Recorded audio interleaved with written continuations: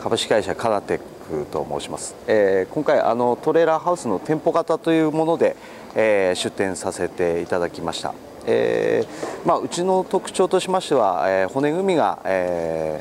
ー、普段あの普通はですね木造で作ってららっしゃるみたいなんですが、えー、そもそもユニットハウスの製作に、え、従事している会社なもんですから、えー、軽量鉄骨造という形で、えー、作らせていただいておりますので、えー、かなり人性の高い、えー、ものになっていると思われます、えー、今回の趣旨としましてはあまあちょっと展示の方ではラーメンというふうになってますけども、えー、まあ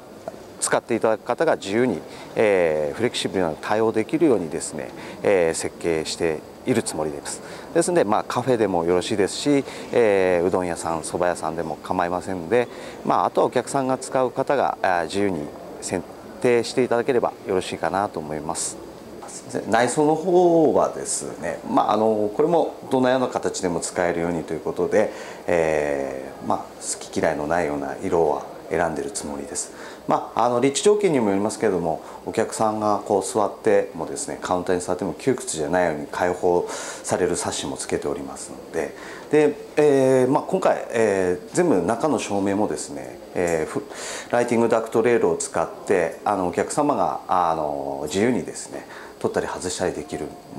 照明器具つけておりますで、えー、照明器具これ全て最近の省エネ、えー、対応で、えー、LED の、えー照明器具になっておりますので、えー、発熱性も少ないですし炎色性も高い、えー、発光ダイオード型の、え、照明器具をつけております。で厨房の蛍光灯も、え、LED ですので、え、外部のスポットライトも LED です、えまあ、炎色性が高いんで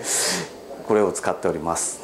床はですね店舗型のあのクッションフロアを使ってますんでこれも清掃に、えー、適してるかなと思います。で同じものも同じものですけども、えー、厨房の床もちょっとジャブジャブっと水では洗いませんけども硬いあの硬く絞った、えー、モップなどで、え、清掃していただければ、え、清掃しやすいかと思われます。